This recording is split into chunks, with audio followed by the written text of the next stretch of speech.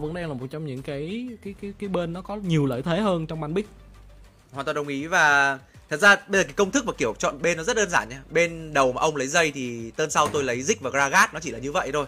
Gần như nó sẽ xuất hiện là như vậy và con Zik và con Gragas là con nó gần như xuất hiện kết hợp với nhau. Và tỷ lệ thắng của con Gragas rất là cao. Nhưng mà đồng nghĩa việc con JC cũng như vậy con Jay cũng là một trong những con tướng mà nếu như đầu ngày hôm nay nhìn thì tỷ lệ thắng của nó lên đến 70% trong giải đấu này rồi. Đúng vậy. Rất khủng khiếp Sen là vị tướng đầu tiên mà bên phía TE Esports họ cấm đi. Trong khi đó bên phía bên kia thì Weibo Gaming họ đang cấm đi cho mình là Camille. Vẫn chưa có quá nhiều uh, cái sự khó hiểu ở trong lượt cấm và chọn của cả hai bên. Akali được cấm từ bên phía Trace Gaming. Rồi và chúng ta sẽ cùng chờ xem Weibo họ quyết định lựa chọn tiếp theo của họ là gì. Sẽ là con Zoe ở ở phase tiếp theo này không? Nhưng đó sẽ là Gragas và chúng ta sẽ không có Gragas ở trong trận thi đấu này rất chắc cú đến thành viên của bên phía đội tuyển Weibo họ đã nghĩ ra họ cần phải sử dụng con tướng gì rồi và nếu như con Gragas thì bị cấm đi thì một trong những con tướng mà bị tranh chấp mạnh tiếp theo sẽ là con Nautilus mà thôi. Ôi, đúng như vậy. À, à không, tưởng Zoe bị cấm chứ. Ban Zoe, ban Zoe ở bên phía đội xanh. Rồi, lượt cấm cuối cùng.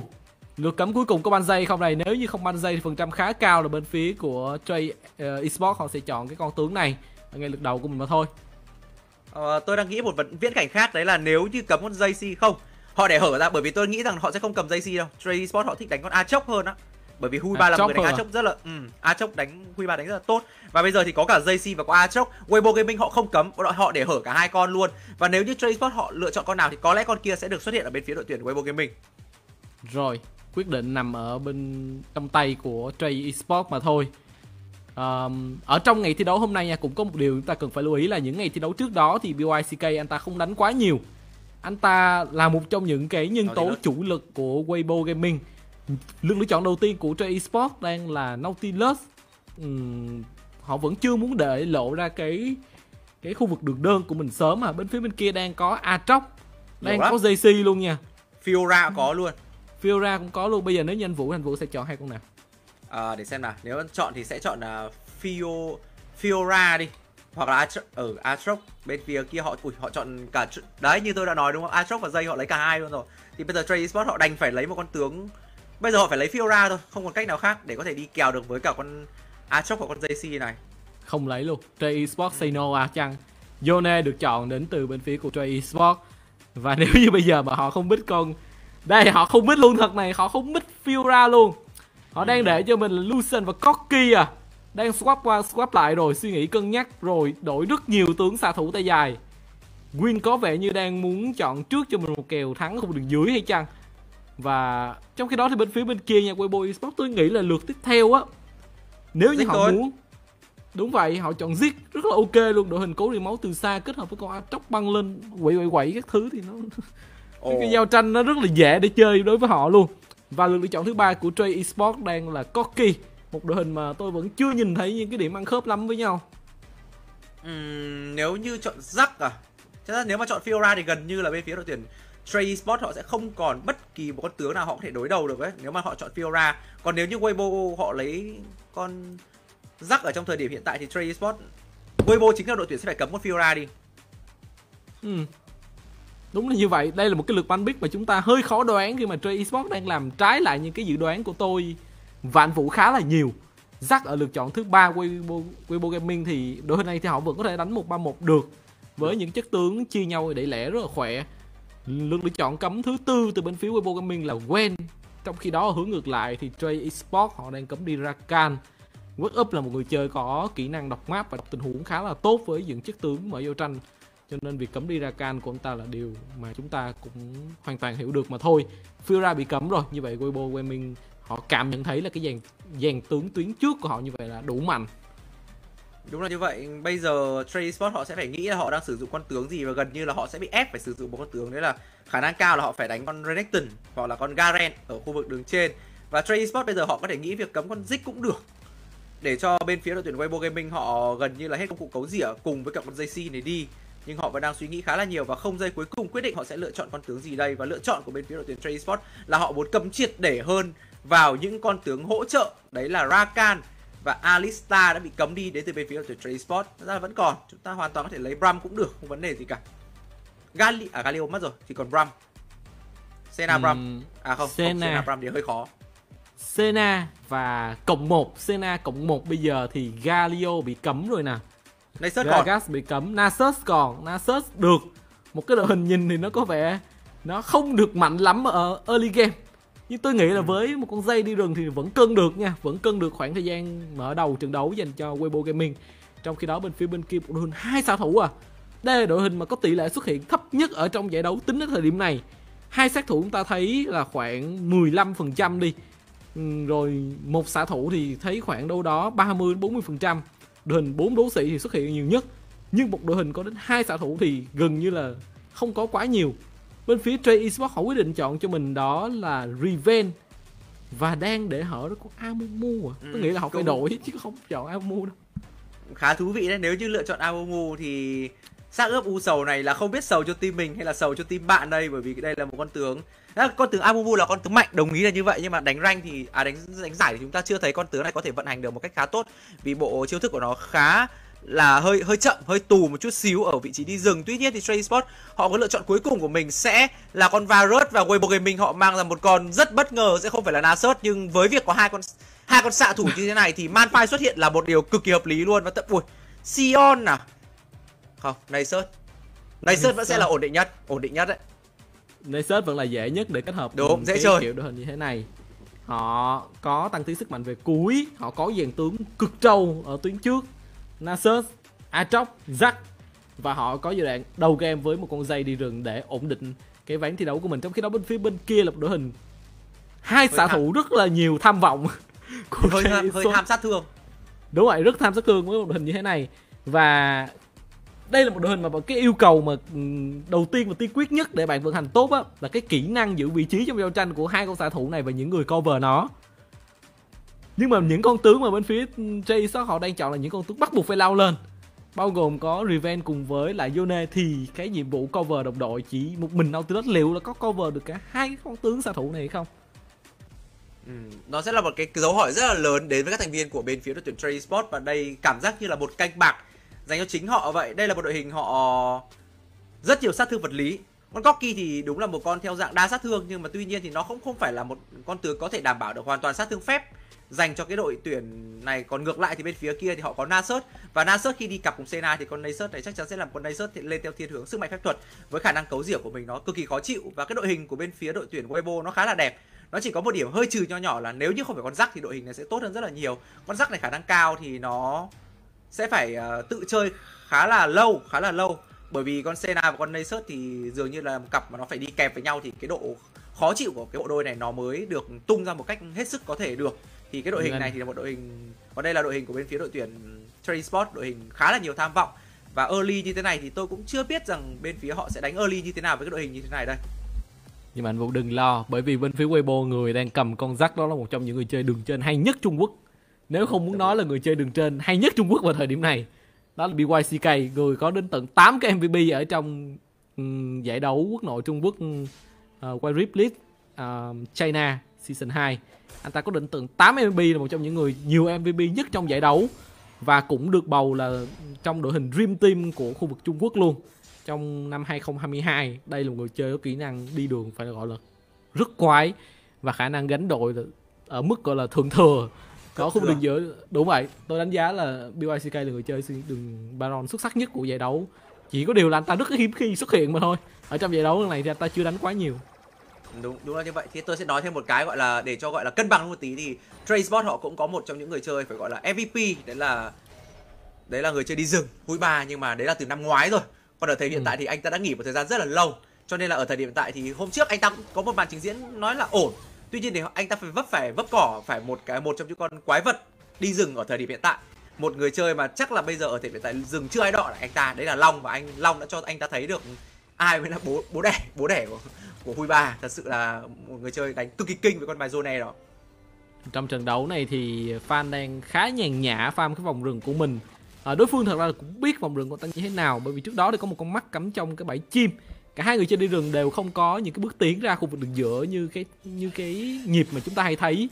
Ờ, nếu như đánh với khu vực APAC á, thì thường những đội Trung Quốc và những đội APAC sẽ có người chơi đi rừng ra đường giữa và tạo sức ép ngay từ ban đầu để họ chiếm lấy con cui cục ở một miệng mạng nào đó. Khoan đã BYCK quay tay Rồi. làm choáng thành công người tắt bên phía bên kia và rất bình tĩnh quay ngược trở lại lượng máu của Trey Esports cặp đôi đường trên mất rất nhiều sau pha trade hit vừa rồi. Và BYCK vẫn chưa muốn dừng lại ở đây. Quốc Up đang đứng sân sau lưng anh ta. Đợt lính đang ở một thế rất đẹp để BYCK anh ta có thể đóng băng và farm được.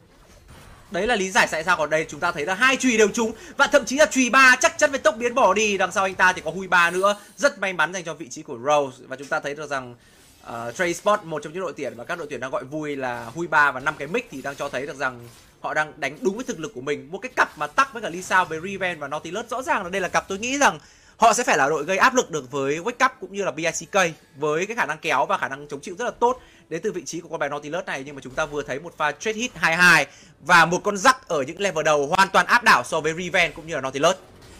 Làm sao đây? Làm sao Trey Esports có thể hóa giải được cái sức ép ở khu vực đường Baron đấy? Thấy Wake Up, công việc của anh ta cực kỳ đơn giản luôn Bây giờ tôi nghĩ rằng khoảng thời gian early game chỉ việc đi theo và làm tất cả những gì BYCK yêu cầu là được giữ cho BYCK còn sống thì đoạn late game đội hình như thế này họ gần như là không thể thua được.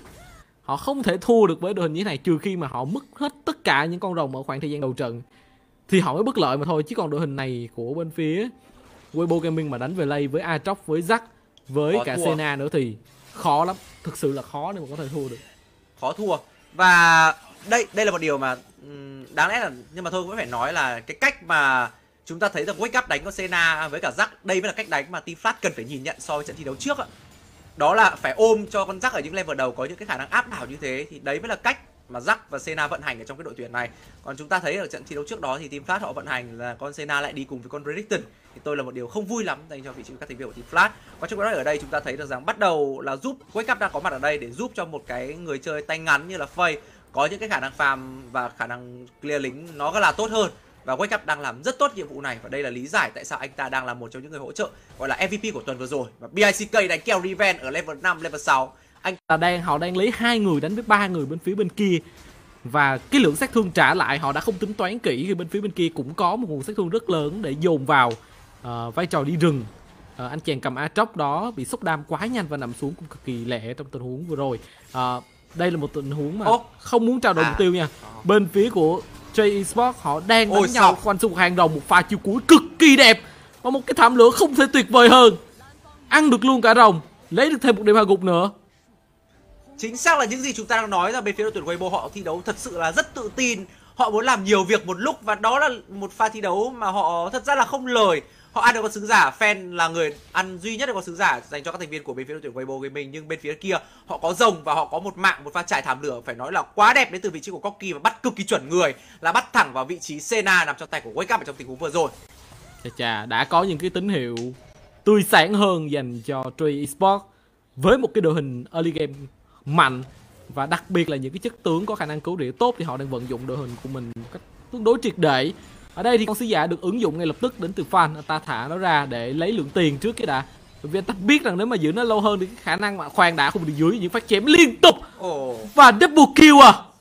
Double kill mới vừa hiện lên. Hai người chơi ở đường rồng trong tình huống vừa rồi của Weibo đã làm gì vậy?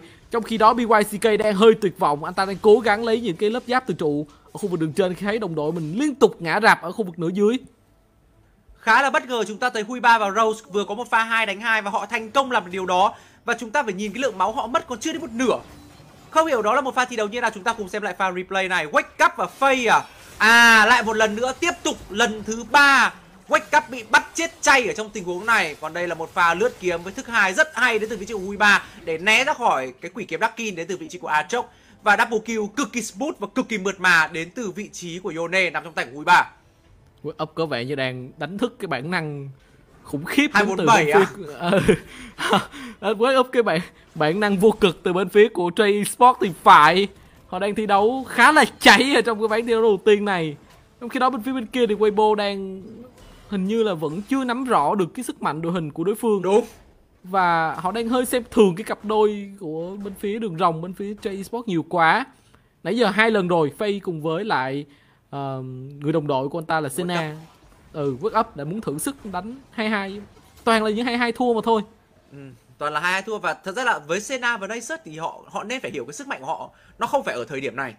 Đây là một thời điểm mà Sena cũng như là Wake Up chưa tạo được cái sự khó chịu của mình khi mà con Nasus đã có cho một cái trượng băng và Sena ít nhất là phải hoàn thành cho mình đó là cái thần kiếm để có thể spam chiêu. Và đây là một tiêu một lần nữa chúng ta thấy Hui Ba một thần đồng đi rừng một thời đã chứng minh được sức mạnh của anh ta. Với lần thứ ba anh ta sử dụng cái đoạt mệnh lại là một chính xác. Và tiếp theo người lên bảng điểm số ở tình huống đó là vị trí của BYCK Hui Ba mất khá nhiều máu fan cùng với lại work up bây giờ đi chung với nhau không còn là người chơi uh, đường giữa nữa. Anh ta đã chuyển sang thành người chơi đi rừng để đi chung với mình. Work up đổi đổi người đi cặp liệu là có thay đổi được kết quả trong những lần 22 không? Chúng ta sẽ phải chờ đợi cho một chút xíu nữa mới biết được. Còn Rose ở đây đang farm thá thoải, khá là thoải mái nha. Với một cái đội hình hai xạ thủ như thế này một con Corki được nhiều tiền như thế này anh ta hơn người đứng thứ hai ở trên tổng bảng xếp hạng đang là một ngàn tiền. Chà chà cái độ tăng tiến sức mạnh của Rose nó sẽ rất nhanh. Và như tôi đã nói một con Corki ba đồ là một con Corki không thể ngăn cản Wake up lại một lần nữa. Và lần này tiếp tục một lần nữa, chúng ta thấy dấu sai là cực tốt đến vị trí của tắc. Và lần thứ tư, Wake up phải lên bảng ở trong trận thi đấu này. Và một pha bóc tốt tiếp theo đã kết liễu được hai thành viên. Và chúng ta thấy được rằng cái sự giao tiếp về thông tin đến từ các thành viên của bên phía đội tuyển Weibo trong trận thi đấu này thật sự có vấn đề rất nhiều. Họ luôn luôn không nắm được các thành viên của bên phía đội tuyển Trey Sport đang ở đâu. Và lần thứ hai, họ giấu sai. Họ thành công bắt được vị trí của Wake Up. Sena mất lên bảng điểm số quá nhiều và không thể hiện được bất kỳ một điều gì cả. Đúng vậy cái sự chủ động đang đến từ Trey Esports, trong khi đó thì Way Weibo Gaming nãy giờ vẫn chưa thấy một cái tình huống nào họ chủ động để thiết lập tấn công cả, ngoại trừ pha đường giữa ra. Pha đường giữa mà họ đã thất bại trong cái tình huống 2-2 tất cả những pha khác là những cái pha mà bên phía Trey Esports là người chủ động và đã thành công với những tình huống bắt người rất nhanh chóng. Nhờ cái bộ chiêu rất nhiều cc của mình chém chiêu cuối. Không được chính xác cho lắm bị kiệt sức. Nhưng mà kiệt sức vào người tắt để làm gì? Quay ngược trở lại ấn đồng hồ gương động của mình. Đang bổ rất đầu đó thì sao? BYCK bây giờ mới tới. Liệu ta có dám tham gia vào giao tranh này không đây? Có vẻ như hơi ngại rồi. Bên phía bên kia còn đủ 5 thành viên. Mặc dù đây là một pha thi đấu mà các thành viên của bên phía đội tuyển Trey Esports hay nói đúng hơn là Hui Ba anh ta sử dụng chiêu cuối. Nó không thật sự quá đẹp. Tuy nhiên với tranh lệch lên tới 6.000 tiền ở thời điểm hiện tại thì Trey Sport họ làm cái gì cũng đúng cả. Một pha thi đấu mà tưởng chừng như các thành viên của Wake Up à xin lỗi các bạn Weibo Gaming họ phải làm được một điều gì đó. Nhưng họ lại thất bại trong một pha giao tiếp và con sứ giả khai đất hoàn toàn thuộc về cho các thành viên của bên phía đội tuyển. Đó là Trey Sport và thật sự rằng các thành viên của bên phía đội tuyển Weibo Gaming họ cần phải wake up thật sự rồi. Tầm tầm này là liệm luôn chứ không wake up được nữa rồi. 6 k rồi. tôi tôi nghĩ là đây là cái trận đấu mà cái khoảng cách chênh lệch về tiền nó nhanh nhất và nhiều nhất khi mà những đội Trung Quốc đánh với nhau luôn á từ đầu giải đến giờ mà nó lại đến từ một cái đội tuyển mà được đánh giá là top cuối của Trung Quốc và một đội tuyển đang là áo quân của khu vực quốc nội Trung Quốc thì nó cũng thật là lạ anh Vũ à. Thả sứ giả cái nước ở đây. Và liệu là con sứ giả đủ thời gian để nó hút vào không cái trụ một không đi dở không không, không được rồi. Vẫn là phá hủy con sứ giả khá nhanh. Chiêu cuối tung ra để lấy tầm nhìn và thông tin. Bắt được một người ở đây bắn khá đầu vào người của Nasus một pha chiêu cuối rất đẹp. Gom được hai thành viên bên phía bên kia. Nasus sống nhưng Sena đứng sau lưng thì không Quyết up lại một lần nữa lên bảng điểm số. Trong trận đấu này anh ta không tỉnh được bất kỳ một giây phút nào cả. Liệu rằng thật sự đây có phải là hỗ trợ mà giành được MVP của tuần 1-2 hay không? Và chúng ta đang đặt một câu hỏi rất lớn. Rose lấy một cái mạng cực kỳ đơn giản ở khu vực đường giữa. Đó là một pha thi đấu mà combo quá đẹp đến từ phía trí của Hui Ba anh ta gom được cả ba thành viên và thật sự ở trong tình huống đó Râu anh ta còn chưa sử dụng gói hàng nâng cấp nữa cơ. Còn nếu như anh ta sử dụng một gói hàng để tiếp tục tiến công lên thì đó là một pha thi đấu có khi Weibo còn phải thiệt hại nặng nề hơn rất nhiều. Và tiếp tục uh, game thi đấu này chúng ta đã thấy được rằng 10 không dành cho Trey Sport và các thành viên của bên phía đội tuyển à. Weibo đang thật sự rất bế tắc và một ngày thi đấu phải nói là thảm họa đến từ hỗ trợ của bên phía đội tuyển Weibo Gaming tôi nghĩ là người bầu MVP cho World Cup chắc chắn là có anh Xuân Vũ hoặc là anh Việt năm đó. Không anh Việt, anh Việt, anh Việt. anh Việt đúng không? Anh Việt người anh Việt, anh Việt thôi. Đánh thế này không thể bầu MVP được. Và khó thực sự là ôi khoan đã đây một tình huống. Ui, Quyên anh ta bị bắt lại. Sử dụng tốc biến rất quyết đoán trong tình huống này. Và Quyên cuối cùng đã phải nằm điểm phạt gục đầu tiên trận đấu dành cho Weibo Gaming. Khung đường giữa thì sao BYCK cần làm một cái điều thần kỳ gì đó ở đây. Phay đang chặt không thấy đam đâu cả. Lisa bị chém chắc chém thứ ba và người ta quay ngược trở lại chắc ngược ra BYCK cùng với đối phương. Và ta chạy được trong pha này Lisa còn sống. Bên phía bên kia thì Weibo mới là đội bị thiệt hại về người. Ít nhất thì chúng ta đang thấy được rằng Weibo họ đã có một mạng đến từ vị trí của Varus ở trong tình huống vừa rồi. Nhưng khu vực ở dưới chúng ta vừa thấy một pha đánh 2-2 BYCK cũng như là fan anh ta không thể đánh lại nổi vị trí các thành viên của bên phía đội tuyển Trade Sport ở thời điểm hiện tại nữa rồi. Hui ba sau một tuần thi đấu mà anh ta quá mạnh với con Johnny đến từ vị trí của Long và trận này anh ta cosplay lại và anh ta đang thật sự đang cosplay thành công.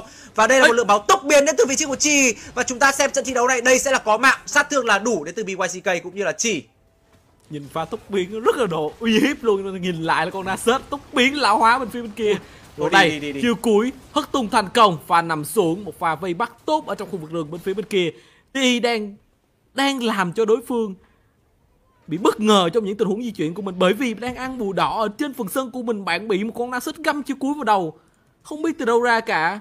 Và một con Corki đang quá mạnh bắn vào người đúng ba phát duy nhất bạn gần chết. Thật sự là khó dành cho bên phía Weibo có thể gượng được liệu đó có một điều thần kỳ đó diễn ra hay không đây? Bên phía của Trace vẫn đang rất quyết tâm để chiếm lĩnh được cái không gian ở trong hụt bùa đỏ bên phía bên kia. Đây là một vị trí mà họ có thể hướng tới ăn Baron một cách chớp nhoáng được nha. Nếu như họ dứt điểm được một đến hai thành viên từ bên phía của Trace Esports Ồ xin lỗi các Không bạn. khó. Weibo Gaming. Khó khó khó. Thật sự là rất khó. Và chúng ta đang nhìn đi bây giờ con Corki này 604 và đây mới là phút thứ 13 của trận thi đấu này. Tiếp tục một lần nữa sử dụng một pha combo cực kỳ đơn giản với tắc và đó là Yone nằm trong tay của Hui Ba. Không có một sức kháng cự nào đến từ các thành viên của bên phía đội tuyển Weibo Gaming ở trong trận thi đấu này cả. Và chúng ta thấy được rằng cực kỳ áp lực đến từ người đi rừng cũng như là người hỗ trợ trận thi đấu này với con Nautilus của Tắc cũng đang pressing và phải nói là cực kỳ ghê. Ở khu vực đường giữa chỉ cần hai người. Hai vị tướng xạ thủ từ bên phía của Trey Esports dễ dàng lấy được chỗ hai bên phía bên kia không có bất kỳ một động thái đáp trả cả. Họ biết rằng bây giờ họ có lao ra đi nữa. Thì đối phương cũng lực. rất dễ dàng. Đây đây là một tình huống đánh giao tranh mà có vẻ như Wei- Weibo Gaming sẽ giành được lợi thế. Chàng để tốc biến để bỏ chạy kéo vào tường ly sao đang tốc biến vào trong bụi của mình. Không có tầm nhìn quay ngược trái án. Hất tung thành công. Những phát bắn từ Win cùng với lại đường giữa Rosen bắt đầu tới nhưng họ bị trói chân ba người ở đây. Bên phía bên kia bật cho mình là dịch chuyển. Để có thêm nhân sự ở đây. Tốc biến lên làm choáng ba thành viên bên kia đối phương rất đẹp. Đó là BYCK Ngồi sau và đây sẽ là râu phải nằm xuống rồi. BYCK vẫn chưa muốn dừng lại ta muốn truy đuổi tiếp. Nhưng không bên phía bên kia đã chạy thành công. Có thể đây sẽ là comeback đến từ các thành viên của bên phía đội tuyển Weibo Gaming khi đó là một mạng sắt đào vào con Corki 604 nằm trong tay của người đi rừng của bên phía đội tuyển Weibo Gaming. Chúng ta cùng xem lại pha thi đấu đó. Đây là một pha thi đấu các thành viên của bên phía đội tuyển Transport họ cũng hơi tham lam, tắc không còn quá nhiều máu. Và bây giờ các bốn thành viên của bên phía đội tuyển Weibo họ dồn lên và đó là một pha dịch chuyển, phải nói là rất tốt. Tưởng chừng như pha thi đấu này, đó sẽ là sai lầm đến từ Weibo, nhưng cái đồng hồ bết chiều cực kỳ tốt đến từ vị trí của Nasus và sau đó, phải nói là một pha dịch chuyển thiên tài đến từ BYCK đó là làm choáng, quay tay được cả bốn thành viên. Khét thực sự. Đây là lý do tại sao anh ta đứng đầu bảng MVP của giải quốc nội Trung Quốc ở năm ngoái. Thật sự là một màn trình diễn đẹp mắt nhưng liệu là có đủ không? Sự xuất sắc của BYCK trong tình huống xử lý vừa rồi liệu là đã đủ để cho bên phía Weibo Gaming lật được về khi đấu này không? Khi mà khoảng cách về tiền nó đang dao động một con số đâu đó khoảng tầm 6.000 tiền vẫn là một con số rất lớn. Ở phút thứ 15 và xin nhắc lại nha bên phía bên kia đội hình về lay của họ cũng không hề yếu chút xíu nào cả. Mạnh mạnh rất mạnh. Vừa nằm xuống một lần xong nhưng Corki vẫn đang là 6-1 chứ không hề và ít đồ và ít tiền chút xíu nào cả V- vẫn đang là hơn 6.000 tiền nhưng đây sẽ là pha có thể là pha tốt đến từ các thành viên của bên phía đội tuyển Weibo hay không làm choáng gây rất nhiều sát thương nhưng Wow. cú chói này của Quá đẹp. là quá đẹp Quá còn trong đẹp. khi đó thì chúng ta đang thấy rằng sát thương của Row thật sự là kinh hoàng và con Corki này bây giờ là không thể ngăn cản nữa rồi những cố gắng cuối cùng đến từ Weibo đến từ vị trí của BYCK chỉ có thể giúp họ lấy được một mạng và thôi và có thể các thành viên của bên phía đội tuyển Transport họ sẽ end game luôn ở trong ván thi đấu này đó là một pha thi đấu mà để cho Huấn Râu có thể bắn từ đầu chí cuối với con bài cocky của mình và không có một động thái nào ngăn cản cả. Và đó sẽ là chiến thắng ở trong game thi đấu đầu tiên dành cho Trey Sport. chắc chắn là người chơi MVP ở trong cái pha thi đấu vừa rồi phải là Lee Sao Lee Sao ở một pha vòng bên phía bên kia bên kia cái bờ tường và túc biến sang anh ta hất tung với thức thứ ba của tam bộ kiếm và sau đó kình lực ba người đội hình bên phía kia không kịp xoay sở gì cả BYCK nằm xuống rất nhanh với pha dồn sát thương bằng chiêu cuối của cả Yone